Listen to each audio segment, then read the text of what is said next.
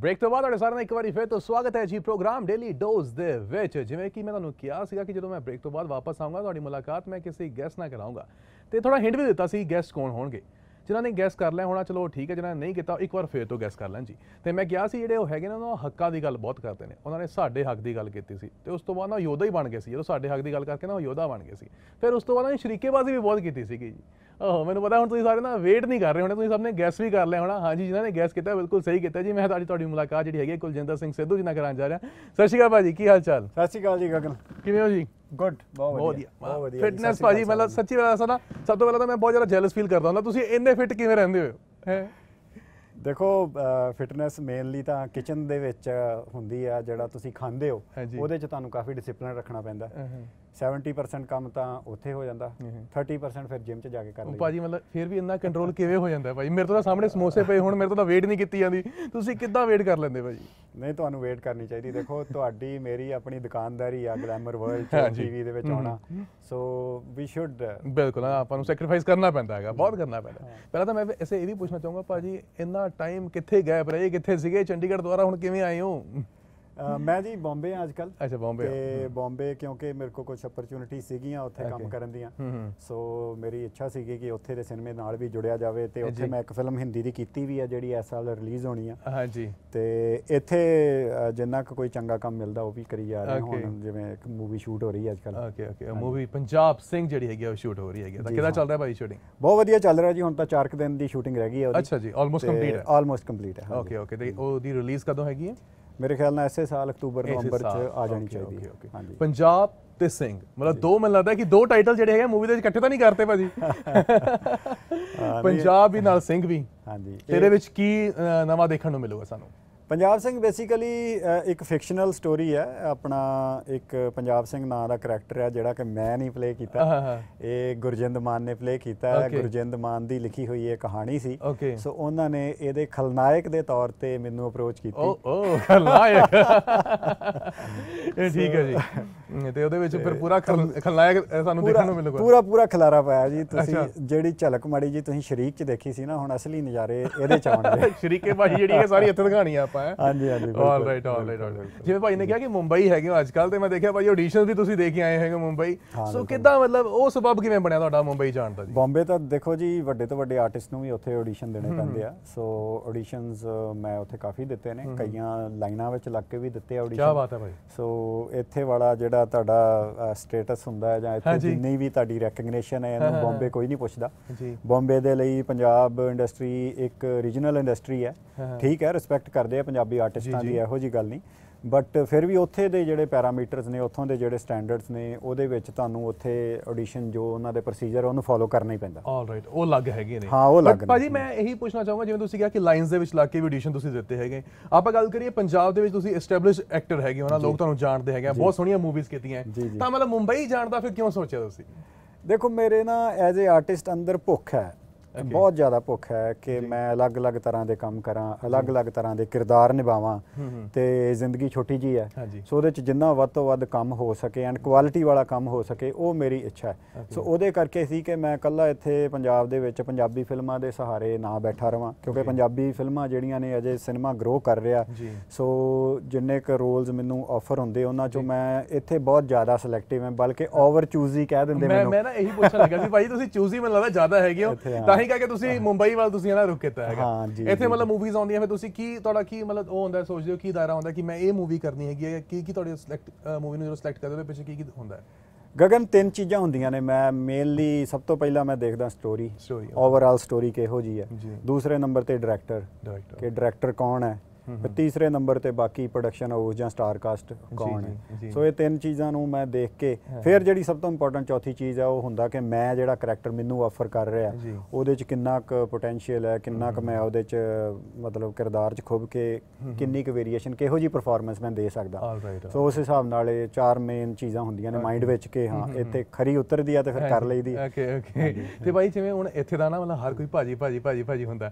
ਤੇ ਮੁੰਬਈ ਜਦੋਂ ਗਏ ਉਦੋਂ ਕੀ ਸਿਨੈਰੀਓ ਸੀਗਾ? ਮਤਲਬ ਕਿਵੇਂ ਸੀਗਾ ਉੱਥੇ ਦਾ ਮਤਲਬ ਉੱਥੇ ਕਿਵੇਂ ਲੋਕਾਂ ਨਾਲ ਗੱਲਬਾਤ ਹੋਈ ਕਿਵੇਂ ਮਤਲਬ ਉੱਥੇ ਦਾ ਮੈਨੂੰ ਲੱਗਦਾ ਆਪਣਾ ਲੈਂਗੁਏਜ ਦਾ ਵੀ ਫ਼ਰਕ ਪੈਂਦਾ ਹੋਊਗਾ। ਆਪਾਂ ਹੁਣ ਪੰਜਾਬੀ ਆ ਉੱਥੇ ਹਿੰਦੀ ਦੇ ਵਿੱਚ ਆਡੀਸ਼ਨ ਹੈ ਨਾ ਤਾਂ ਔਖਾ ਨਹੀਂ ਸੀਗਾ ਭਾਜੀ? ਬਿਲਕੁਲ ਜੀ ਉੱਥੇ ਬਹੁਤ ਔਖਾ। ਸਭ ਤੋਂ ਪਹਿਲਾਂ ਤਾਂ ਉੱਥੇ ਜਿਹੜੀ ਹਿੰਦੀ ਸਿੱਖਣੀ ਆਪਾਂ ਪੰਜਾਬੀ ਹਿੰਦੀ ਵੀ ਹਾਂ ਬਈ ਕੈਸੇ ਹੋ ਤੁਮ ਹਾਂ ਦਾਰਾ ਸਿੰਘ ਸਟਾਈਲ ਆਪਣੀ। ਇਹ ਕੀ ਕਰ ਤੁਮਨੇ? ਸੋ ਆਪਾਂ ਸਾਰੇ ਦਾਰਾ ਸਿੰਘ ਸਟਾਈਲ ਹਿੰਦੀ ਬੋਲਦੇ ਆ ਉੱਥੇ। ਸੋ ਉਹ ਪਹਿਲਾਂ ਤਾਂ ਉਹਨੂੰ ਡਿਕਸ਼ਨ ਨੂੰ ਠੀਕ ਕਰਨਾ ਪਿਆ. ਉਹਦੇ ਲਈ ਮੈਂ ਇਸਰਾਰ ਅਨਸਾਰੀ ਮੇਰੇ ਟੀਚਰ ਸੀਗੇ ਉਹਨਾਂ ਨੂੰ ਮੈਂ ਉਹਨਾਂ ਦੇ ਨਾਲ ਡਿਕਸ਼ਨ ਦੀਆਂ ਕਲਾਸਿਸ ਲਾਈਆਂ। जी ਸੋ ਉਸ ਤੋਂ ਇਲਾਵਾ ਹੋਰ ਬਹੁਤ ਸਾਰੀ ਮਿਹਨਤ ਕਰਨੀ ਪੈਂਦੀ ਤੁਹਾਨੂੰ ਆਪਣੇ ਆਪ ਤੇ ਹਿੰਦੀ ਦਾ ਲਿਟਰੇਚਰ ਬਹੁਤ ਸਾਰਾ ਪੜ੍ਹਨਾ ਪਿਆ ਸੋ ਇਹ ਸਾਰਾ ਕੁਝ ਮੇਰਾ ਚੱਲ ਰਿਹਾ ਸੀ ਉੱਥੇ ਤੇ ਮੈਨੂੰ ਫਿਰ ਇਹਦੇ ਵਿੱਚ ਹੀ ਇੱਕ ਫਿਲਮ ਜਿਹੜੀ ਆਫਰ ਹੋਈ ਆਸਾਨ ਜਿਹੜੀ ਹੁਣ ਰਿਲੀਜ਼ ਹੋਣੀ ਆ. ਉਹ ਹੈਰਾਨੀ ਦੀ ਗੱਲ ਹੈ ਮੈਂ ਆਡੀਸ਼ਨਸ ਵਗੈਰਾ ਦੇ ਰਿਹਾ ਸੀ ਕਈ ਵੱਡੀਆਂ ਵੱਡੀਆਂ ਫਿਲਮਾਂ ਦੇ ਆਡੀਸ਼ਨਸ. ਦਿੱਤੇ ਕਈਆਂ ਦੇ ਮੈਨੂੰ ਸਿਲੈਕਸ਼ਨ ਵੀ ਹੋਈ.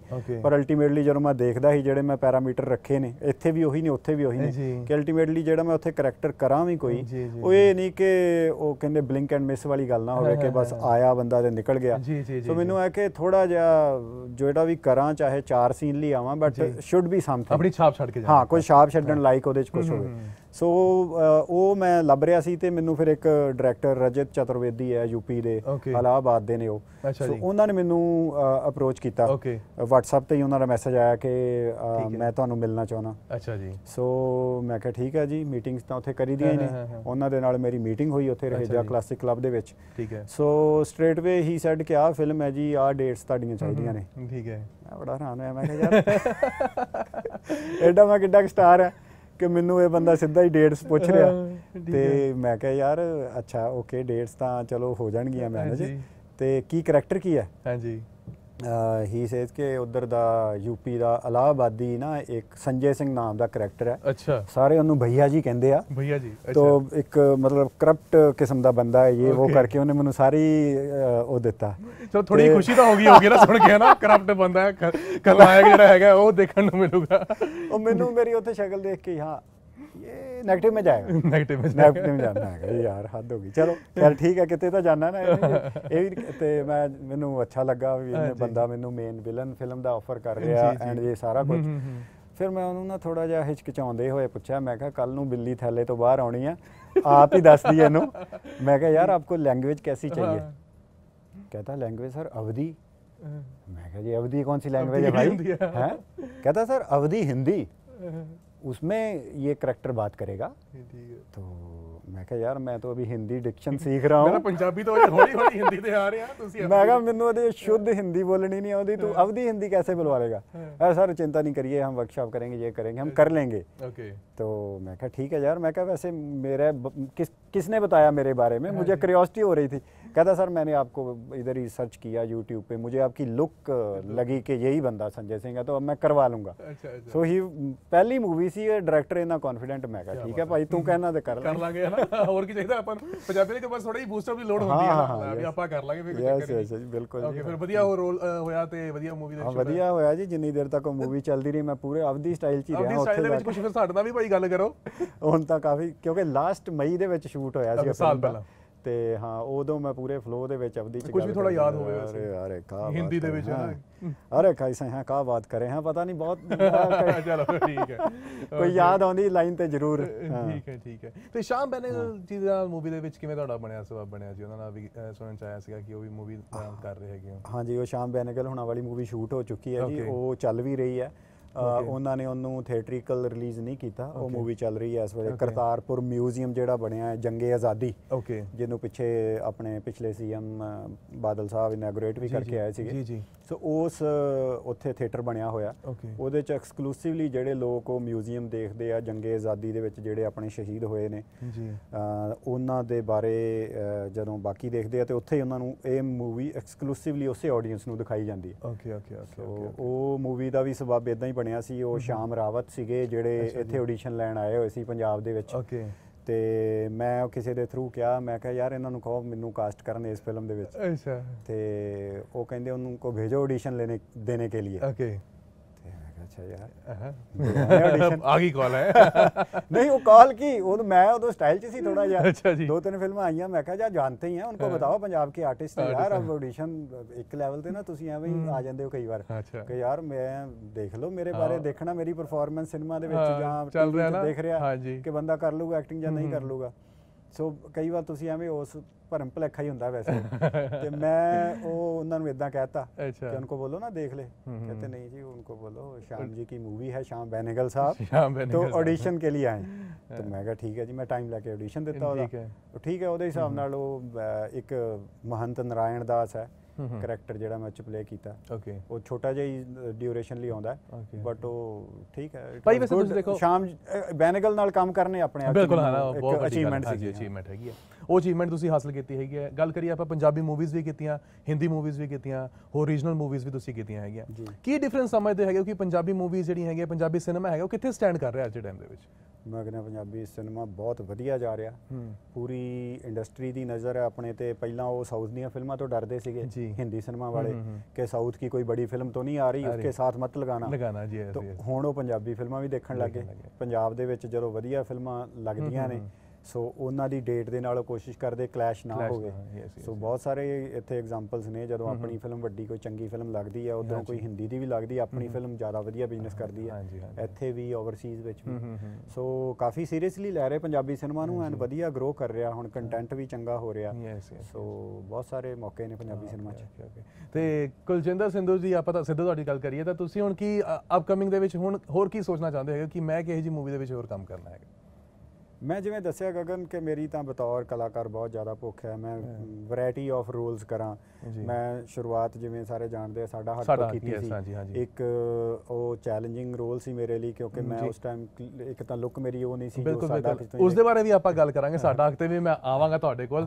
ਬਟ ਫਿਲਹਾਲ ਵੇਲਾ ਹੋ ਰਿਹਾ ਸੀ ਭਾਜੀ ਕਿ ਛੋਟੇ ਬ੍ਰੇਕ ਦਾ ਆਪਾਂ ਲੈਣੇ ਜੀ ਇੱਕ ਛੋਟਾ ਜਿਹਾ ਬ੍ਰੇਕ ਜਲਦ ਵਾਪਸ ਆਉਂਦੇ ਆ ਜੀ ਫਿਰ ਆਪਾਂ ਬ੍ਰੇਕ ਤੋਂ ਬਾਅਦ। ਬ੍ਰੇਕ ਤੋਂ ਬਾਅਦ ਤੁਹਾਡੇ ਸਾਰਿਆਂ ਦਾ ਇੱਕ ਵਾਰੀ ਫਿਰ ਤੋਂ ਸਵਾਗਤ ਹੈ ਜੀ ਪ੍ਰੋਗਰਾਮ ਡੇਲੀ ਡੋਜ਼ ਦੇ ਵਿੱਚ ਤੇ ਗੱਲਾਂ ਬਾਤਾਂ ਆਪਣੀਆਂ ਚੱਲ ਰਹੀਆਂ ਜੀ ਕੁਲਜਿੰਦਰ ਸਿੱਧੂ ਜੀ ਦੇ ਨਾਲ। ਭਾਈ ਤੁਹਾਡਾ ਇੱਕ ਵਾਰ ਫਿਰ ਤੋਂ ਸਵਾਗਤ ਹੈ ਜੀ। Thank you very much Gagan so ਆਪਾਂ ਗੱਲ ਕਰ ਰਹੇ ਸੀ ਆਪਣੇ ਹੱਕ ਦੀ ਯਾਨੀ ਕਿ ਸਾਡਾ ਹੱਕ ਦੀ।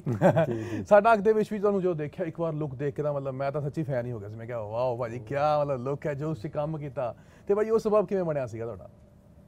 ਹਾਂ ਸਾਡਾ ਹੱਕ ਤੁਸੀਂ ਮੈਨੂੰ ਯਾਦ ਦਿਲਾਈ ਤੇ ਮੈਨੂੰ ਯਾਦ ਆ ਗਿਆ ਕਿ ਹੁਣ ਆਪਣਾ ਅੱਜ ਸਾਰੇ ਜਿਹੜੇ ਦਰਸ਼ਕ ਦੇਖ ਰਹੇ ਆ। ਗੁਰੂ ਅਰਜਨ ਦੇਵ ਸਾਹਿਬ ਜੀ ਦਾ ਸ਼ਹੀਦੀ ਦਿਹਾੜਾ ਜੀ। ਸੋ ਨਾਲ ਦੀ ਨਾਲ ਹੀ ਆਪਣਾ ਜਿਹੜਾ ਘੱਲੂਘਰ ਆਪਾਂ ਕਹਿੰਦੇ ਉਹਨੂੰ ਤੀਜਾ ਘੱਲੂਘਰ ਆ ਵੀ ਹਫਤਾ ਵੀ ਸ਼ੁਰੂ ਹੋ ਗਿਆ। ਸੋ ਸਿੱਖ ਕੌਮ ਤੇ ਬਹੁਤ ਜ਼ਿਆਦਾ ਜ਼ੁਲਮ ਹੋਇਆ ਸੀਗਾ। ਸੋ ਸਾਡਾ ਹੱਕ ਵਿੱਚ ਵੀ ਇੱਕ ਡਾਇਲੌਗ ਸੀਗਾ ਕਿ ਗੁਰੂ ਅਰਜਨ ਦੇਵ ਸਾਹਿਬ ਤੋਂ ਲੈ ਕੇ। ਸ਼ਾਂਤਮਈ ਸ਼ਹੀਦੀਆਂ ਦਾ ਦੌਰ ਸ਼ੁਰੂ ਹੋਇਆ ਸੀਗਾ। ਸੋ ਸਾਡਾ ਹੱਕ ਦਾ ਸਬਬ ਇਦਾਂ ਬਣਿਆ ਜੀ ਕਿ ਉਹ ਜਿਹੜਾ ਪੰਜਾਬ ਦੇ ਵਿੱਚ ਜਿਹੜੀ ਸ਼ੁਰੂਆਤ ਕੀਤੀ ਸੀਗੀ ਸਰਕਾਰ ਨੇ ਜੋ ਦਮਨਕਾਰੀ ਨੀਤੀ ਬਣਾ ਕੇ ਤੇ ਜਿਹੜੀਆਂ ਹੱਕੀ ਮੰਗਾਂ ਜੀ। ਮੰਗ ਰਹੇ ਸੀਗੇ ਬੇਸਿਕਲੀ। ਹੈਗੀਆਂ ਤਾਂ ਸਾਰੀਆਂ ਪੰਜਾਬੀਆਂ ਨਾਲ ਸੰਬੰਧਿਤ ਸੀਗੀਆਂ। ਪਰ ਜ਼ਿਆਦਾਤਰ ਉਹਨਾਂ ਨੂੰ ਸਿੱਖਾਂ ਨਾਲ ਜੋੜ ਕੇ ਤੇ ਉਹ ਇੱਕ ਮੂਵਮੈਂਟ ਨੂੰ ਬਦਨਾਮ ਕਰਕੇ ਜੋ ਬਾਅਦ। ਉਹਨਾਂ ਨੇ ਕੀਤਾ ਘੱਲੂਘਾਰਾ ਸਿਰਫ ਦਰਬਾਰ ਸਾਹਿਬ ਤੇ ਨਹੀਂ ਉੱਥੇ ਤਾਂ ਇਹ ਚਲੋ ਬਹਾਨਾ ਬਣਾਉਂਦੇ ਨੇ ਜੀ। ਕਿ ਉੱਥੇ ਸੰਤ ਜਰਨੈਲ ਸਿੰਘ ਪਿੰਡਰਾ ਵਾਲਿਆਂ ਨੂੰ ਖਤਮ ਕਰ ਲਈ ਕੀਤਾ ਪਰ ਬਾਕੀ 35 ਗੁਰਦੁਆਰਿਆਂ ਤੇ ਵੀ। ਉਹ ਹਮਲਾ ਹੋਇਆ ਸੀ। ਉਹ ਜੋ ਕੁਝ ਹੋਇਆ ਸੀ ਉਹ ਮੈਂ ਉਸ ਵੇਲੇ 9 ਸਾਲ ਦਾ ਸੀ ਮੇਰੇ ਮਨ ਤੇ ਉਹ ਸਾਰੀਆਂ ਘਟਨਾਵਾਂ ਛਪੀਆਂ ਹੋਈਆਂ ਸੀਗੀਆਂ ਫਾਦਰ ਸਾਹਿਬ ਮੇਰੇ ਜਰਨਲਿਸਟ ਸੀਗੇ ਸੋ ਜਦੋਂ ਤੁਸੀਂ ਜਰਨਲਿਸਟ ਫੈਮਿਲੀ ਚ ਹੁੰਦੇ ਤੁਹਾਨੂੰ ਹੋਰ। ਫਸਟ ਹੈਂਡ ਖਬਰਾਂ ਮਿਲਦੀਆਂ ਰਹਿੰਦੀਆਂ ਉਹ। ਕਿਸੇ ਨਾਲ ਵੀ ਗੱਲ ਕਰਦੇ ਹੁੰਦੇ ਸੀ ਤੇ ਸਾਡੇ ਕੰਨ ਖੜੇ ਰਹਿੰਦੇ ਸੀ ਕਿ। ਅੱਛਾ ਇਦਾਂ ਹੋ ਰਿਹਾ ਇਹ ਹੋ ਰਿਹਾ ਇਹ ਹੋ। ਰਿਹਾ ਸੋ ਉਹ ਅੰਮ੍ਰਿਤਸਰ ਨੂੰ ਮੈਂ ਬਿਲੋਂਗ ਕਰਦਾ ਉਹ ਸਾਰਾ ਦੌਰ ਫਿਰ ਉਸ ਤੋਂ ਬਾਅਦ ਮਿਲੀਟੈਂਸੀ ਦਾ ਚੱਲਿਆ ਖਾੜਕੂਵਾਦ ਦਾ ਦੌਰ ਚੱਲਿਆ ਜੀ। 95 ਤੱਕ ਸੋ ਉਹ ਜੋ ਕੁਝ ਮੈਂ ਦੇਖਿਆ ਹੰਡਾਇਆ ਸੀ ਜਦੋਂ ਮੈਂ ਫਿਰ ਮੀਡੀਆ ਲਾਈਨ ਦੇ ਵਿੱਚ ਆਇਆ ਤੇ ਮੇਰੇ ਮਨ ਚ ਸੀਗਾ ਕਿ ਉਹ ਕਹਾਣੀ ਉਸ ਦੌਰ ਦੀ ਕੋਈ ਕਹਿਣੀ ਚਾਹੀਦੀ ਹੈ ਕਿ। ਉਹ ਮੁੰਡੇ ਕਿਉਂ ਇਸ ਰਸਤੇ ਤੁਰੇ ਸੀਗੇ। ਸੋ ਉਹ ਥਾਟ ਸੀਗੀ ਜਿਹਨੂੰ ਫਾਈਨਲੀ ਮੈਂ ਪੈਨ ਡਾਊਨ ਕੀਤਾ। ਤੇ ਫਿਰ ਉਹ ਫਿਲਮ ਬਣੀ ਬਿਲਕੁਲ ਫਿਲਮ ਬਣਾਈ ਹੈ ਨਾ ਬਹੁਤ ਸਾਰੀ ਕੰਟਰੋਵਰਸੀਜ਼ ਵੀ ਹੋਈਆਂ ਹੈ ਨਾ। ਫਿਰ ਵੀ ਐਟ ਲਾਸਟ ਕਹਿੰਦੇ ਹਨ ਸੱਚ ਦੀ ਜਿਹੜੀ ਜਿੱਤ ਹੁੰਦੀ ਹੈਗੀ ਹੈ ਜੀ ਤੁਸੀਂ ਇੰਨੀ ਮਿਹਨਤ ਕੀਤੀ ਸਾਰੀ ਟੀਮ ਦੀ ਨੇ ਮਿਹਨਤ ਸੀਗੀ ਫਿਰ। ਉਹ ਐਟ ਲਾਸਟ ਉਹ ਰਿਲੀਜ਼ ਹੋਈ। ਜਦੋਂ ਭਾਈ ਇਹੋ ਜਿਹਾ ਕੰਟਰੋਵਰਸੀਜ਼ ਹੋਈਆਂ ਤਾਂ ਇੱਕਦਮ ਬੰਦਾ ਥੋੜਾ ਹੋ ਜਾਂਦਾ ਨਾ ਕਿ ਨਰਵਸ ਹੋ ਜਾਂਦਾ ਹੈ ਕਹ ਲਓ ਕਿ ਦੁੱਖ ਵੀ ਲੱਗਦਾ ਹੈਗਾ ਤਾਂ ਫਿਰ ਵੀ ਇੰਨੀ ਮੋਟੀਵੇਸ਼ਨ ਤੁਹਾਡੇ ਵਿੱਚ ਕਿਵੇਂ ਆਈ? ਨਹੀਂ ਮੈਂ ਉਹਦੇ ਲਈ ਪ੍ਰਿਪੇਅਰਡ ਸੀਗਾ ਜੀ। ਮੈਂ ਨਾ ਜਦੋਂ ਉਹ ਗੱਲ ਮੈਂ ਆਪਣੇ ਬ੍ਰਦਰ ਨਾਲ ਵਿਕਰਮ ਹੈ ਉਹਦੇ ਨਾਲ ਸ਼ੇਅਰ ਕੀਤੀ ਸਭ ਤੋਂ। ਪਹਿਲਾਂ ਉਹ ਮੈਨੂੰ ਮਨਾ ਕਰ ਰਿਹਾ ਸੀ ਕਿ ਯਾਰ ਕਿਉਂ ਪੰਗਾ ਲੈ ਕਿਉਂ, ਰਿਹਾ? ਹਾਂ। ਮੇਰਾ ਪਾਰਟਨਰ ਦਿਨੇਸ਼ ਤਾਂ ਕਰ ਹੀ ਰਿਹਾ ਸੀਗਾ। ਜੀ, ਜੀ। ਉਹ ਤਾਂ ਮੈਂ ਕਈ ਪਲੇਟਫਾਰਮ ਤੇ ਗੱਲ ਕੀਤੀ ਕਿ ਦਿਨੇਸ਼ ਤਾਂ ਮੈਨੂੰ 5-7 ਸਾਲ ਲੱਗੇ ਉਹਨੂੰ ਮਨਾਉਣ ਲਈ। ਹਾਂ ਹਾਂ। ਤੇ ਬ੍ਰਦਰ ਵੀ ਮੇਰਾ ਜਿਹੜਾ ਯੰਗਰ ਬ੍ਰਦਰ ਉਹ ਵੀ ਮੈਨੂੰ ਕਹਿ ਰਿਹਾ ਯਾਰ ਦਿਨੇਸ਼ ਭਾਜੀ ਤੁਹਾਡੇ ਪਾਰਟਨਰ ਹੈ ਤੇ ਹਾਂਜੀ। ਤੁਹਾਨੂੰ ਉਹਨਾਂ ਦੀ ਗੱਲ ਮੰਨਣੀ ਚਾਹੀਦੀ। ਤੁਸੀਂ ਕਿਉਂ ਜਿੱਦ ਫੜੀ ਇਹ ਕਹਾਣੀ ਕਹਿਣ ਲਈ? ਜੀ। ਤੇ ਮੈਂ ਉਹਨੂੰ ਉਦੋਂ ਗੱਲ ਕੀਤੀ ਸੀ ਅਸੀਂ ਗੱਡੀ 'ਚ ਜਾਂਦੇ ਸੀ। ਮੈਂ ਕਿਹਾ ਯਾਰ ਜੇ ਇਹ ਕਹਾਣੀ ਕਹਿ ਕੇ ਮੈਨੂੰ ਜੇਲ੍ਹ 'ਚ ਵੀ ਜਾਣਾ ਪਵੇ ਨਾ ਹੂੰ ਹੂੰ ਹੂੰ। ਤੇ ਮੈਂ ਤਿਆਰ ਹਾਂ ਕੀ ਬਾਤ ਕੀ ਬਾਤ। ਤੇ ਉਹ ਕਹਿੰਦਾ ਅੱਛਾ ਇਹ ਗੱਲ ਹੈ। ਹਾਂ। ਇਹੀ ਗੱਲ ਹੈ। ਕਹਿੰਦਾ ਫਿਰ ਠੀਕ ਹੈ। ਕਰੋ ਫਿਰ। ਕੀ ਕਰੋ ਫਿਰ ਨਾ ਫਿਰ ਆਪਾਂ ਕੀਤਾ। ਤੇ ਭਾਈ ਉਹ ਮੂਵੀ ਦਾ ਇੱਕ ਬਹੁਤ ਸੋਹਣਾ ਡਾਇਲੌਗ ਜਿਹੜਾ ਹੈਗਾ ਮੈਂ ਚਾਹੁੰਦਾ ਕਿ ਆਪਣੇ ਵਿਊਅਰਸ ਜਿਹੜੇ ਹੈਗੇ ਉਹ ਵੀ ਦੇਖਣ। ਤੇ ਉਹ ਜਿਹੜਾ ਡਾਇਲੌਗ ਹੈਗਾ ਮੇਰੇ ਵੀ ਦਿਲ ਦੇ ਬਹੁਤ ਕਰੀਬ ਹੈਗਾ ਤੇ ਆਓ ਆਪਾਂ ਵੀ ਸਾਰੇ ਦੇਖਦੇ ਹਾਂ ਸ਼ੋਰ ਟੈਰਰਿਸਟ ਕਿਵੇਂ ਬਣੀ?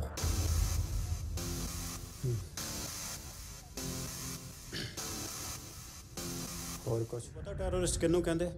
ਅਮ ਟੈਰਰਿਸਟ ਤਾਂ ਉਹੀ ਬੰਦਾ ਹੁੰਦਾ ਹੈ ਜਿਹੜਾ ਬੇਗੁਨਾਹਾਂ ਨੂੰ ਮਾਰ ਕੇ ਖੌਫ ਪੈਦਾ ਕਰਦਾ ਹੈ। ਦੇਸ਼ ਆਜ਼ਾਦ ਹੋਣ ਤੋਂ ਪਹਿਲਾਂ ਭਗਤ ਸਿੰਘ ਕਰਤਾਰ ਸਿੰਘ ਸਰਾਭਾ ਚੰਦਰ ਸ਼ੇਖਰ ਆਜ਼ਾਦ ਗਦਰੀ ਬਾਬੇ ਇਹਨਾਂ ਸਾਰਿਆਂ ਨੂੰ ਟੈਰਰਿਸਟ ਕਿਹਾ ਜਾਂਦਾ ਸੀ।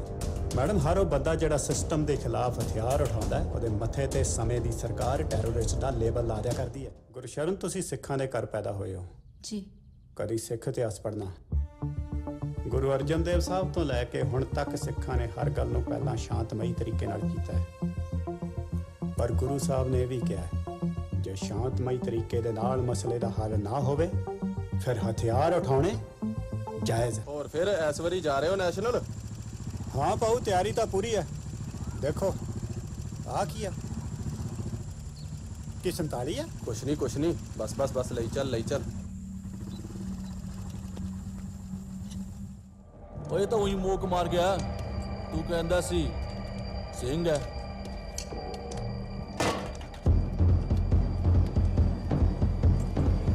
ਆਜਾ।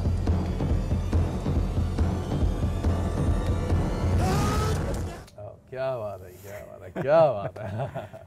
ਮਤਲਬ ਬਹੁਤ ਸਾਰੇ ਓਵਰਸੀਜ਼ 'ਚ ਵੀ ਲੋਕਾਂ ਨੇ ਬਹੁਤ ਜ਼ਿਆਦਾ ਪਿਆਰ ਦਿੱਤਾ ਸੀ ਮੂਵੀ ਨੂੰ ਆਪਾਂ ਗੱਲ ਕਰੀਏ। ਜੀ ਜੀ ਜੀ। ਮੇਨ ਮਤਲਬ ਸਟਰੈਂਥ ਹੀ ਉੱਥੋਂ ਮਿਲੀ ਸੀ ਸਾਨੂੰ। ਹਨਾ ਕਿ ਆਪਾਂ ਕਿਹਾ ਚਲੋ ਉੱਥੇ ਇੰਨੀ ਸਟਰੈਂਥ ਮਿਲ ਗਈ ਹੈ ਤੇ ਹੁਣ ਇੰਡੀਆ ਦੇ ਵਿੱਚ ਤਾਂ ਚਲੋ ਆਪਣੇ ਆਪ ਮਿਲ ਹੀ ਜਾਊਗੀ। ਬਿਲਕੁਲ ਬਿਲਕੁਲ। ਉਹਨਾਂ ਨੇ ਮਤਲਬ ਜਿੰਨਾ ਵੱਡਾ ਹੁੰਗਾਰਾ ਦਿੱਤਾ ਮਤਲਬ ਅਨਬਲੀਵੇਬਲ ਸੀ ਇੰਨਾ ਸੋਚਿਆ ਨਹੀਂ ਸੀ।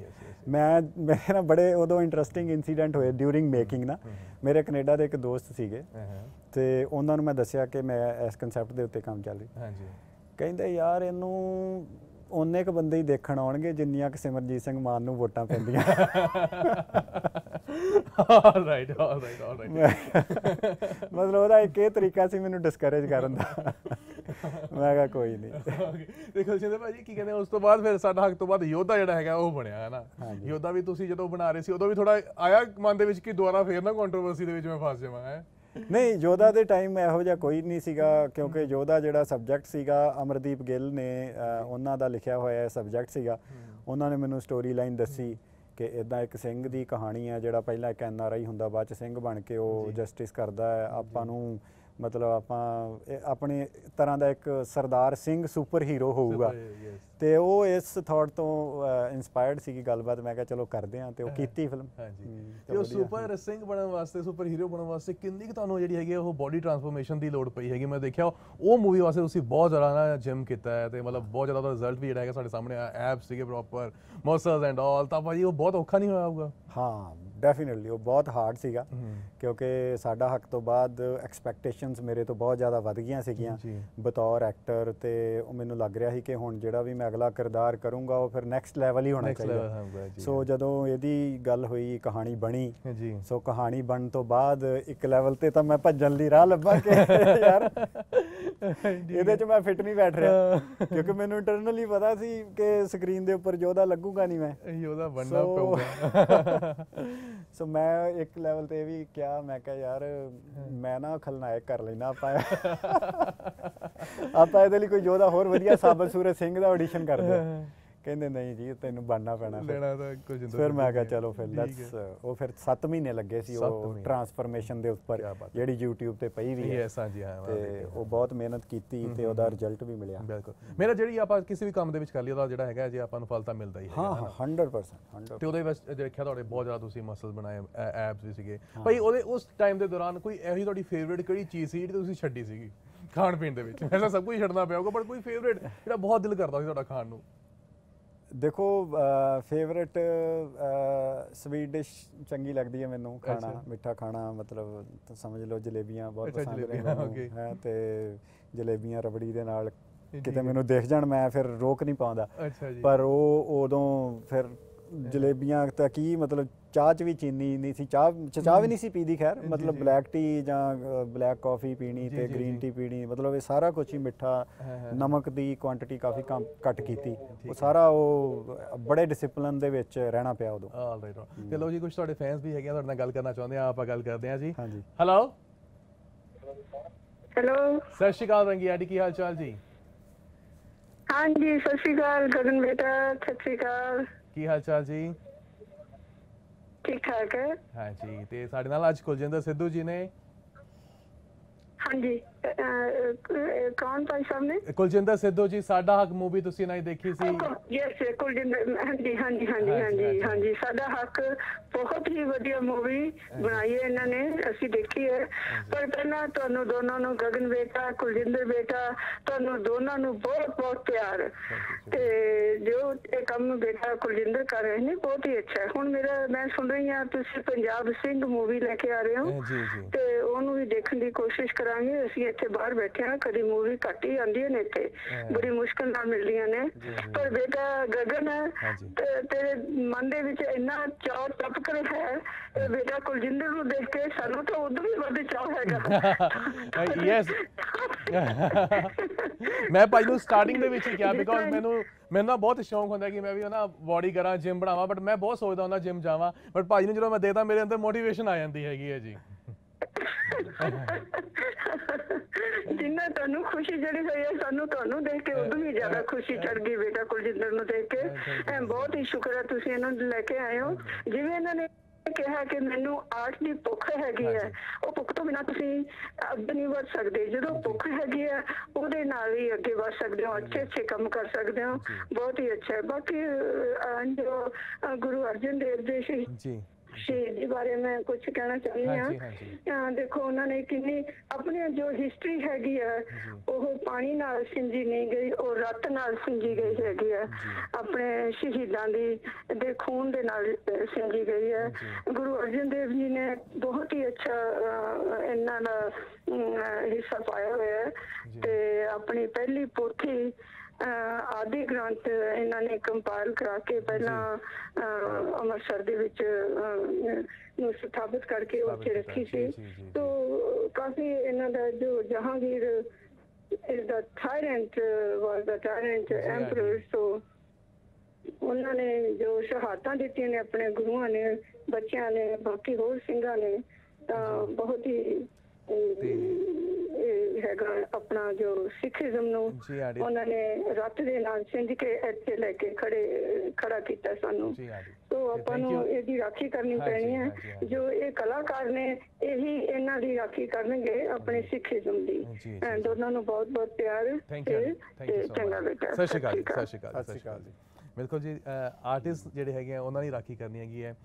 ਬਹੁਤ ਸਾਰੀ ਕੀ ਕਹਿੰਦੇ ਡਿਮਾਂਡਸ ਹੁੰਦੀਆਂ ਖੁਆਇਸ਼ਾਂ ਹੁੰਦੀਆਂ ਬਾਹਰ ਜਿਹੜੇ ਵਿਊਅਰਸ ਹੁੰਦੇ ਨੇ ਉਹਨਾਂ ਨੂੰ ਹੁੰਦਾ ਕਿ ਸਾਨੂੰ ਪੰਜਾਬੀ ਮੂਵੀਜ਼ ਜਿਹੜੀਆਂ ਹੈਗੀਆਂ ਜੀ ਕੁਝ ਇਹੋ ਜਿਹੀਆਂ ਮਿਲਣ ਦੇਖਣ ਨੂੰ ਜਿਹੜੀਆਂ ਉਹ ਪੂਰੇ ਪਰਿਵਾਰ ਦੇ ਨਾਲ ਜਾ ਕੇ ਦੇਖ ਸਕਣ ਇੰਜੋਏ ਕਰ ਸਕਣ।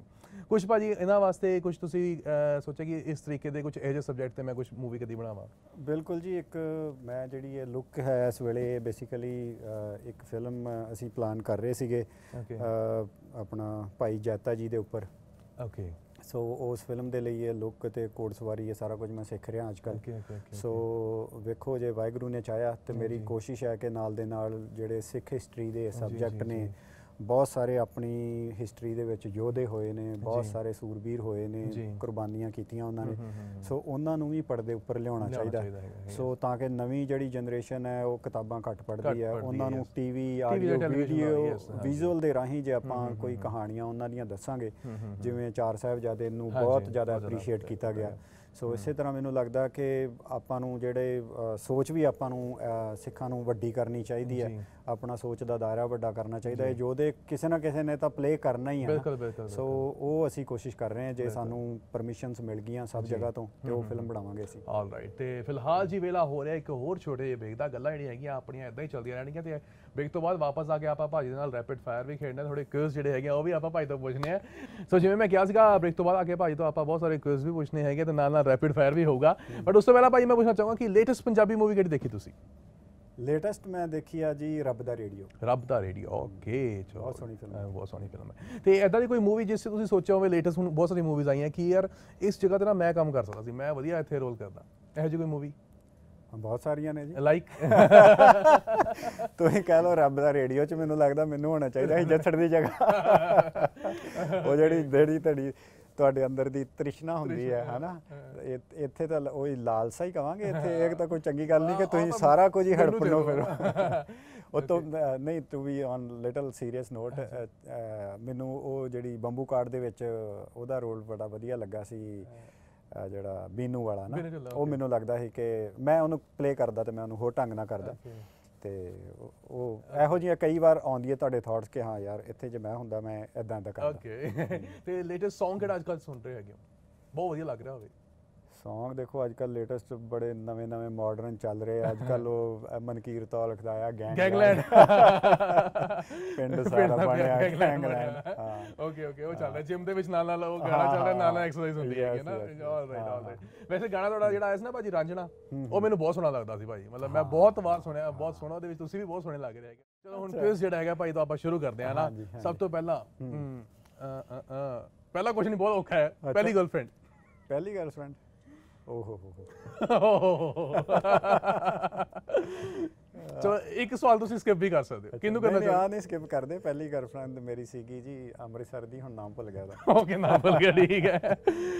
ਭਾਈ ਕਿੱਥੇ ਰਹਿਣਾ ਜ਼ਿਆਦਾ ਪਸੰਦ ਕਰਦੇ ਹੋ ਪਿੰਡ ਦੇ ਵਿੱਚ ਜਾਂ ਸ਼ਹਿਰ ਦੇ ਵਿੱਚ? ਪਿੰਡ ਆਫ ਕੋਰਸ ਪਿੰਡ। ਦਾ ਨਾਮ ਵੀ ਦੱਸ ਦਿਓ ਪਿੰਡ- ਆਪਣੇ। ਪਿੰਡ ਮੇਰਾ ਕਾਲਮ ਹੈ ਜੀ ਤਰਨਤਾਰਨ ਡਿਸਟ੍ਰਿਕਟ ਦੇ ਵਿੱਚ ਪੈਂਦਾ। ਮੈਂ ਉੱਥੇ ਬਹੁਤ ਘੱਟ ਰਿਹਾ ਪਰ ਜਿੰਨੀ ਵਾਰ ਵੀ ਮੈਂ ਉੱਥੇ ਜਾਂਦਾ ਬਹੁਤ ਸਕੂਨ ਮਿਲਦਾ। ਮੇਰੇ ਨਾਨਕੇ ਪਿੰਡ ਹੈ ਸੁਲਤਾਨਵਿੰਡ. ਉੱਥੇ ਮੈਂ ਬਹੁਤ ਜ਼ਿਆਦਾ ਰਿਹਾ ਉੱਥੇ ਦਾ ਬਚਪਨ ਮੈਨੂੰ ਬਹੁਤ ਚੰਗਾ ਲੱਗਦਾ ਹਮੇਸ਼ਾ ਯਾਦ ਕਰਕੇ। ਤਕਰੀਬਨ ਮੇਰੇ ਖਿਆਲ ਨਾਲ 12ਵੀਂ ਤੱਕ ਮੈਂ ਪਿੰਡ ਦੇ ਵਿੱਚ ਹੀ ਜ਼ਿਆਦਾ ਰਹਿੰਦਾ ਓਕੇ ਸੀ ਸਵਾਲ ਜੋ ਸਵਾਲ ਆਪਣਾ ਪਿੰਡ ਕਿ ਨਾਨਕਾ ਪਿੰਡ? ਨਾਨਕਾ ਪਿੰਡ ਮੈਂ ਪਿੰਡ ਨਾਨਕੇ ਰਹਿੰਦਾ ਸੀ ਭੂਆ ਕੋਲ. ਸੀ। ਓਕੇ ਹਾਂਜੀ। ਫੇਵਰਿਟ ਗੇੜੀ ਰੂਟ ਜੋ ਬਹੁਤ ਸਾਰੀ ਗੇੜੀਆਂ ਮਾਰੀਆਂ ਹੁਣ। ਗੇੜੀਆਂ ਜ਼ਿਆਦਾ ਨਹੀਂ ਮਾਰੀਆਂ ਵੈਸੇ ਅੰਮ੍ਰਿਤਸਰ ਦੇ ਵਿੱਚ ਲਾਰੈਂਸ ਰੋਡ ਤੇ ਗੇੜੀ। ਮਾਰੀ ਦੀ Okay, ਗੋਲਗੱਪੇ ਵੀ ਖਾਂਦੇ ਹੁੰਦੇ ਸੀ ਭਾਜੀ। ਕੀ ਖਵਾਉਂਦੇ ਹੁੰਦੇ ਸੀ। ਗੱਪਿਆਂ ਦਾ ਮੈਂ ਸ਼ੌਕੀਨ ਨਹੀਂ ਖਵਾ- ਖਵਾਇਆ okay best moment of life best movement of life best movement of life ਮੈਨੂੰ ਰੀਸੈਂਟਲੀ ਹੋਈ ਇੱਕ ਮੈਂ ਇੱਥੇ ਪਹਾੜਾਂ ਵਿੱਚ ਕਿਤੇ ਗਿਆ ਸੀਗਾ. ਤੇ ਸਵੇਰੇ ਸਵੇਰੇ ਮੈਂ ਮੈਡੀਟੇਸ਼ਨ ਕਰ ਰਿਹਾ ਸੀਗਾ. ਧਿਆਨ ਕੀਤਾ ਗੁਰੂ ਸਾਹਿਬ ਦਾ ਥੋੜਾ ਮੈਂ ਪਾਠ ਕਰਦੇ ਕਰਦੇ ਉਹ ਪੌ ਫੁੱਟਣ ਦਾ ਟਾਈਮ ਸੀਗਾ। ਸੋ ਮੈਂ ਅੱਖਾਂ ਬੰਦ ਸੀਗੀਆਂ ਤੇ ਉਹ ਮੈਂ ਕੁਦਰਤੀ ਉਦੋਂ ਅੱਖਾਂ ਖੋਲੀਆਂ ਜਦੋਂ ਪੌ ਫੁੱਟ ਰਹੀ ਸੀ। ਅੱਛਾ। ਸੋ ਮਤਲਬ ਉਹ ਕੁਦਰਤ ਦਾ ਜੋ ਨਜ਼ਾਰਾ ਸੀ ਜੋ। ਦੇਖ ਕੇ ਉਹ. ਫੀਲ ਕਰਕੇ ਮਤਲਬ ਮੇਰੇ ਅੱਖਾਂ ਮਤਲਬ ਹੰਝੂਆਂ ਨਾਲ ਭਰ ਗਈਆਂ। ਇਹਨਾਂ ਮਤਲਬ ਅੰਦਰੋਂ ਮੇਰਾ ਹਲਕਾ ਮੈਂ ਮਹਿਸੂਸ ਕੀਤਾ ਉਹ ਸਾਰਾ ਦੇਖ ਕੇ. ਬਲਿਹਾਰੀ ਕੁਦਰਤ ਵਸਿਆ। ਤੇਰਾ ਅੰਤ ਨਾ ਜਾਈ ਲਖਿਆ ਉਹ ਫੀਲਿੰਗ ਜਿਹੜੀ ਸੀ ਨਾ ਦੇਖ ਕੇ ਰੱਬ ਹੀ ਮੈਨੂੰ ਜਿੱਦਾਂ ਲੱਗਾ ਦੇਖ ਗਿਆ। ਸੋ ਬਹੁਤ ਚੰਗੀ ਫੀਲਿੰਗ ਹੈ ਜੀ। ਓਕੇ ਬੈਸਟ ਮੂਵਮੈਂਟ ਤੁਸੀਂ ਪੁੱਛੀ ਸੀ ਬੈਸਟ ਮੂਮੈਂਟ ਯੈਸ ਹਾਂ। ਬਹੁਤ ਸੋਹਣੀ ਮੂਮੈਂਟ ਹੈ ਨਾ ਮੈਂ ਤਾਂ ਚਾਹੁੰਦਾ ਕਿ ਹਰ ਕਿਸੇ ਦੀ ਲਾਈਫ ਦੇ ਵਿੱਚ ਇਹੋ ਜਿਹੀ ਮੂਮੈਂਟ ਆਵੇ ਹੈ ਨਾ ਇੱਕ ਚੀਜ਼ ਜੋ ਤੁਸੀਂ ਚੇਂਜ ਕਰਨਾ ਚਾਹੁੰਦੇ ਹੋ? ਆਪਣੇ ਚ? ਆਪਣੇ 'ਚ ਵੀ ਦੱਸ ਦਿਓ ਤੇ ਓਵਰਆਲ ਵੀ ਦੱਸ ਦਿਓ ਸੋਸਾਇਟੀ ਦੇ ਵਿੱਚ ਵੀ ਕੁਝ ਕਰਨਾ ਚਾਹੁੰਦੇ ਹੋ? ਸੋਸਾਇਟੀ ਦੇ ਵਿੱਚ ਦੇਖੋ ਆਪਣੀ ਇੰਡੀਅਨ ਸੋਸਾਇਟੀ ਵਿੱਚ ਤਾਂ ਬਹੁਤ ਕੁਝ ਚੇਂਜ ਕਰਨ ਦੀ ਲੋੜ ਹੈ। ਇੱਥੇ ਤਾਂ ਕੋਈ ਡਿਕਟੇਟਰ ਆਉਂਦਾ ਆਉ- ਚਾਹੀਦਾ ਜਿਹੜਾ ਬੰਦਾ ਬਣਾਵੇ। ਕੋਈ ਰੋਡ ਟ੍ਰੈਫਿਕ ਸੈਂਸ ਨਹੀਂ ਹੈ। ਬਹੁਤ ਸਾਰੀਆਂ ਕਮੀਆਂ ਨੇ ਖੈਰ ਆਪਣੀ ਸੋਸਾਇਟੀ ਵਿੱਚ। ਤੇ ਆਪਣੇ ਵਿੱਚ ਵੀ ਮੈਨੂੰ ਲੱਗਦਾ ਮੈਂ ਬਹੁਤ ਸੁਧਾਰ ਕਰਨ ਦੀ ਲੋੜ ਹੈ। ਮੈਨੂੰ ਆਪਣੀ ਐਂਗਰ ਮੈਨੇਜਮੈਂਟ ਤੇ ਕੰਮ ਕਰਨ ਦੀ ਲੋੜ ਹੈ। ਹਾਂ Okay. ਜੀ। ਸਭ ਤੋਂ ਜ਼ਿਆਦਾ ਡਰ ਕਿਸ ਤੋਂ ਲੱਗਦਾ? ਡਰ ਨਹੀਂ ਲੱਗਦਾ ਮੈਨੂੰ ਕਿਸੇ ਡਰ ਨਹੀਂ। ਲੱਗਦਾ? ਕਦੇ ਕਿਸੇ ਤੋਂ ਵੀ ਨਹੀਂ ਮਤਲਬ ਕਦੀ ਲੱਗਿਆ? ਮਤਲਬ ਟੱਚਵੁੱਡ ਹੀ ਮਤਲਬ. ਇਹ ਰੱਬ ਵੱਲੋਂ ਹੀ ਹੈਗਾ. ਕਿ ਆਮ ਫੀਅਰਲੈਸ ਮੈਨੂੰ ਨਹੀਂ ਲੱਗਦਾ ਮੈਨੂੰ. ਪੰਗੇ ਲੈਣ ਦਾ ਜੀ ਕਰਦਾ ਮਤਲਬ ਐਵੇਂ ਜਿੱਦਾਂ ਹੁਣ ਮੇਰੇ ਖੁਆਇਸ਼ ਜਾਗੀ ਕਿ ਯਾਰ ਮਾਊਂਟ ਐਵਰੈਸਟ ਚੜ੍ਹ ਕੇ ਆਈਏ ਕਿਸੇ ਵੇਲੇ। ਜਾਂ ਹੋਰ ਇਹੋ ਜਿਹੇ ਪੰਗੇ ਮੈਨੂੰ ਚੰਗਾ ਲੱਗਦਾ ਡਰ. ਡਰ ਵਾਲੀ ਗੱਲ ਨਹੀਂ ਹੈਗੀ ਅੱਛਾ ਜੇ ਐਕਟਰ ਨਾ ਹੁੰਦੇ ਤਾਂ ਕੀ ਹੁੰਦੇ ਐਕਟਰ ਨਾ ਹੁੰਦਾ ਤੇ ਫਿਰ ਮੈਂ ਬਿਜ਼ਨਸ ਕਰ ਹੀ ਰਿਹਾ ਸੀਗਾ। ਬਿਜ਼ਨਸ ਕਰ ਰਹੇ ਸੀ ਮੈਂ ਵੈਸੇ ਜਰਨਲਿਸਟ ਬਣਨ ਲਈ ਆਇਆ ਸੀ ਇਸ ਲਾਈਨ 'ਚ. ਫਿਰ ਜਰਨਲਿਸਟ ਨਹੀਂ ਕਿਸੇ ਨੇ ਰੱਖਿਆ। ਓਕੇ ਮੈਂ ਨੌਕਰੀ ਲੱਭਦਾ ਫਿਰਦਾ ਸੀ ਤੇ ਫਿਰ ਮੈਂ ਆਪਣੀ ਐਡ ਏਜੰਸੀ ਸ਼ੁਰੂ ਕਰ ਲਈ. ਸੋ ਐਡ ਏਜੰਸੀ ਤੋਂ ਬਿਜ਼ਨਸ ਲਾਈਨ 'ਚ ਆ ਗਏ। ਬਿਜ਼ਨਸ. ਲਾਈਨ ਤੋਂ ਫਿਰ ਇੱਧਰ ਫਿਲਮੀ ਲਾਈਨ 'ਚ ਆ ਗਏ। ਸੋ. ਜਰਨੀ ਜਿਹੜੀ ਰੱਬ ਪਲਾਨ ਕਰਦਾ ਹੈ ਨਾ. ਕਈ ਵਾਰ ਤੁਸੀਂ ਆਪਣਾ ਜੋ ਸੋਚਿਆ ਹੁੰਦਾ ਉਹ ਨਹੀਂ ਹੁੰਦਾ। ਮਤਲਬ ਕਈ ਵਾਰ ਕੀ ਹਮੇਸ਼ਾ ਹੀ ਉਹੀ ਹੁੰਦਾ ਜੋ ਰੱਬ ਚਾਹੁੰਦਾ। ਓਕੇ ਹਾਂ। ਇੱਕ ਵਿਸ਼ ਜੋ ਪੂਰੀ ਨਹੀਂ ਹੋਈ। ਇੱਕ ਵਿਸ਼ ਜੋ ਪੂਰੀ ਨਹੀਂ ਹੋਈ। ਵਿਸ਼ੇਸ਼ ਤਾਂ ਇਹੋ ਜਿਹੀਆਂ ਬਹੁਤ ਨੇ ਜਿਹੜੀਆਂ ਪੂਰੀਆਂ। ਇੱਕ ਕੋਈ ਖਾਸ। ਪੀਸ ਆਫ ਮਾਈਂਡ ਮੈਨੂੰ ਲੱਗਦਾ ਸ਼ਾਂਤੀ ਜਿਹੜੀ ਆ ਨਾ ਉਹ ਮਿਲ ਜੇ ਬੰਦੇ ਨੂੰ ਜ਼ਿੰਦਗੀ 'ਚ। ਮਨ ਸ਼ਾਂਤ ਹੋਵੇ ਤ੍ਰਿਸ਼ਨਾਵਾਂ ਤੋਂ ਦੂਰ ਹੋਵੇ ਤੋਂ ਮਤਲਬ ਸਾਰੀ ਸਾਰੀ ਜਿਹੜੀ ਆ ਨਾ ਖੁਸ਼ੀ ਅੰਦਰ ਹੈ ਇਨਸਾਨ ਦੇ।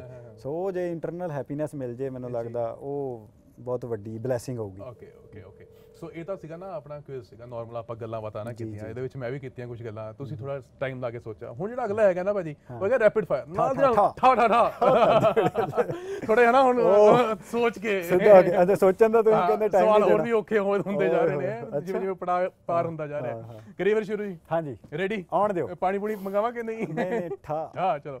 ਸਭ ਤੋਂ ਪਹਿਲਾਂ। ਕੁਲਜਿੰਦਰ ਸਿੱਧੂ। ਬੜਾ ਵਧੀਆ ਬੰਦਾ। ਹਾਂ, ਯੋਧਾ?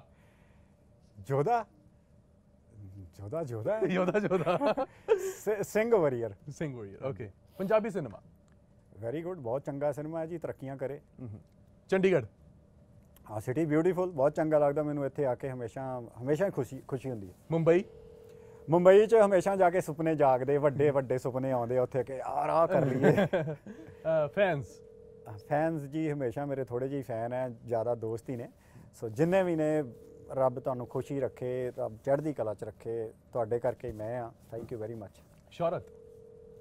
ਸ਼ੌਹਰਤ ਠੀਕ ਹੈ ਜੀ ਜਿੰਨੀ ਮਿਲੀ ਜਾਵੇ ਓਨੀ ਘੱਟ ਹੈ। ਪਰ ਮੈਨੂੰ ਲੱਗਦਾ ਕਿ ਸ਼ੌਹਰਤ ਦੀ ਭੁੱਖ ਮੈਨੂੰ ਹੁਣ ਇੰਨੀ ਹੈ ਨਹੀਂਗੀ. ਕਿ ਮੈਂ ਜਿੰਨਾ ਸੋਚਿਆ ਸੀ ਉਸ ਤੋਂ ਵੱਧ ਆਲਰੇਡੀ ਹੋ ਗਿਆ। ਮਤਲਬ ਐਵੇਂ ਹੀ ਇਸ ਲਾਈਨ 'ਚ ਤੁੱਕਾ ਜਿਹਾ ਲੱਗਾ ਹੋਇਆ ਜਦੋਂ ਤੱਕ ਚੱਲੀ ਜਾਂਦਾ। ਬਹੁਤ ਕਿਰਪਾ ਹੈ ਮਾਲਕ ਦੀ। ਸ਼ਰੀਕ? ਸ਼ਰੀਕ ਤਾਂ ਨਾ ਹੀ ਹੋਵੋ ਕਿਸੇ ਦੇ ਨਾ ਬਣੋ। ਸ਼ਰੀਕ ਤੇ ਖੁਸ਼ੀ ਨਾਲ ਭਾਈਚਾਰੇ ਨਾਲ ਰਹੋ ਸਾਰੇ। ਪੈਸਾ? ਪੈਸਾ ਜ਼ਰੂਰ ਇੰਪੋਰਟੈਂਟ ਹੈ ਜੀ ਵੈਰੀ ਇੰਪੋਰਟੈਂਟ ਐਂਡ ਪੈਸੇ ਤੋਂ ਬਿਨਾ ਵੀ ਤੁਸੀਂ ਖੁਸ਼ ਰਹਿ ਸਕਦੇ ਹੋ ਪਰ ਪੈਸਾ ਹੋਵੇ ਤਾਂ ਜ਼ਿਆਦਾ ਖੁਸ਼ ਰਹਿ ਸਕਦੇ ਹੋ। ਦੋਸਤੀ?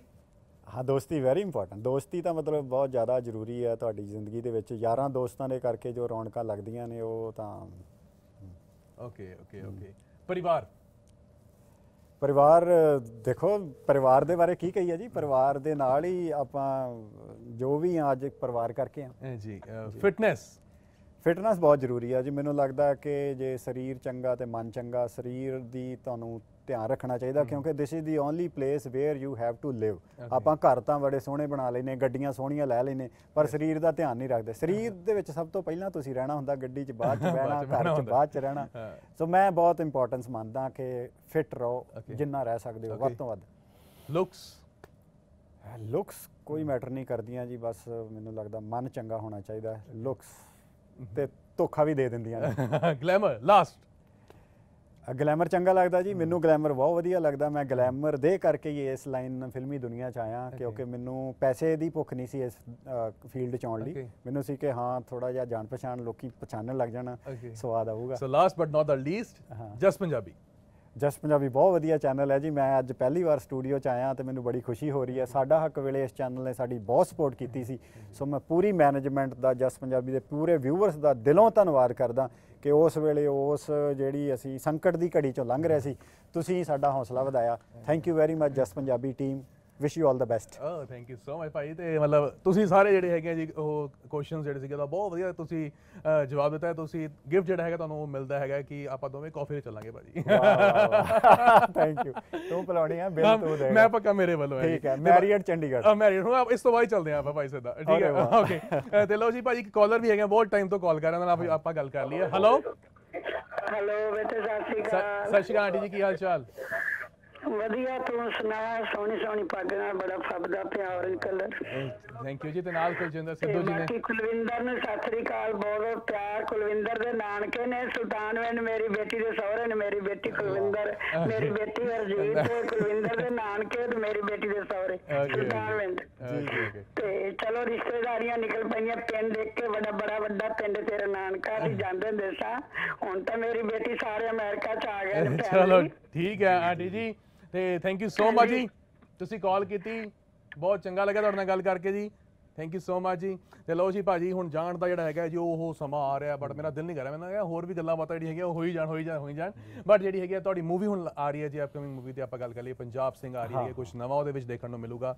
ਸੋ ਆਪਣੇ ਵਿਊਅਰਸ ਨੂੰ ਉਹ ਜ਼ਰੂਰ ਤੁਸੀਂ ਦੱਸੋ ਉਹਦੇ ਬਾਰੇ। ਪੰਜਾਬ ਸਿੰਘ ਮੂਵੀ ਆ ਰਹੀ ਹੈ ਜੀ ਬੜੀ ਖਤਰਨਾਕ ਉਹਦੇ ਵਿੱਚ ਮੇਰੀ ਲੁੱਕ ਹੈ ਬੜਾ ਖਤਰਨਾਕ ਕਰੈਕਟਰ ਹੈ ਤੁਹਾਨੂੰ ਦੇਖ ਕੇ ਸਵਾਦ ਆਊਗਾ। ਬੇਸਿਕਲੀ ਇਹ ਫਿਲਮ ਮਸਾਲਾ ਫਿਲਮ ਹੈ ਐਂਟਰਟੇਨਮੈਂਟ ਦੀ ਫਿਲਮ ਹੈ। ਪੂਰਾ ਅਸੀਂ ਸਾਊਥ ਸਟਾਈਲ ਇੱਕ ਪੰਜਾਬੀ ਫਿਲਮ ਬਣਾਈ। ਇੱਕ ਪੰਜਾਬੀ ਸਿਨੇਮਾ ਦਾ ਮੈਨੂੰ ਲੱਗਦਾ ਇੱਕ ਨਵਾਂ ਤਜਰਬਾ ਕਿਉਂਕਿ ਗਣੇਸ਼ ਜਿਹੜੇ ਇਹਦੇ ਐਕਸ਼ਨ ਡਾਇਰੈਕਟਰ ਨੇ ਉਹਨਾਂ ਨੇ ਐਕਸ਼ਨ ਬੜਾ ਕਮਾਲ ਦਾ ਕੀਤਾ. ਸੋ ਗੁਰਜਿੰਦ ਮਾਨ ਨੇ ਲਿਖੀ ਬੜੀ ਵਧੀਆ। ਹੈ। ਤਾਜ ਜਿਹੜੇ ਡਾਇਰੈਕਟਰ ਨੇ ਬੜੇ ਪੈਸ਼ਨ ਦੇ ਨਾਲ ਉਹ ਫਿਲਮ ਦੇ ਉੱਤੇ ਲੱਗੇ ਹੋਏ ਨੇ। ਹੁਣੇ ਥੋੜੀ ਦੇਰ ਪਹਿਲਾਂ ਹੀ ਮੇਰੀ ਉਹਨਾਂ ਨਾਲ ਗੱਲ ਹੋਈ ਸੀ ਮਤਲਬ ਇੰਨੀ ਡਿਟੇਲ ਦੇ ਵਿੱਚ ਉਹ ਜਾਂਦੇ ਆ. ਮੈਨੂੰ ਲੱਗਦਾ ਚੰਗੀ ਫਿਲਮ ਬਣ ਰਹੀ ਹੈ ਤੁਹਾਨੂੰ ਸਾਰਿਆਂ ਨੂੰ ਪਸੰਦ ਆਊਗੀ। Okay okay. Thank you so much ਭਾਜੀ ਵੀ ਵਿਸ਼ ਯੂ ਗੁੱਡ ਲੱਕ ਤੁਹਾਡੀ ਆਉਣ ਵਾਲੀ ਹਰ ਮੂਵੀ ਜਿਹੜੀ ਹੈਗੀ ਹੈ ਜੀ ਉਹ ਸਾਡਾ ਵਾਂਗੂ ਐਨ ਮਤਲਬ ਪੂਰੀਆਂ ਬੁਲੰਦੀਆਂ ਹਾਸਲ ਕਰੇ ਬਹੁਤ ਜ਼ਿਆਦਾ ਉਹ ਤਰੱਕੀਆਂ ਕਰੇ ਤੇ ਤੁਸੀਂ ਵੀ ਭਾਜੀ ਮਤਲਬ ਤੁਸੀਂ ਪੰਜਾਬੀ ਸਿਨੇਮਾ ਨੂੰ ਪੂਰਾ ਨਾ ਬੱਲੇ ਬੱਲੇ ਕਰਾ ਦਿਓ ਭਾਜੀ ਮਤਲਬ ਮੇਰੇ ਤੁਸੀਂ ਬਹੁਤ ਜ਼ਿਆਦਾ ਫੇਵਰੇਟ ਹੈਗੇ ਜਿਵੇਂ ਤੁਸੀਂ ਮਤਲਬ ਆਪਣੀ.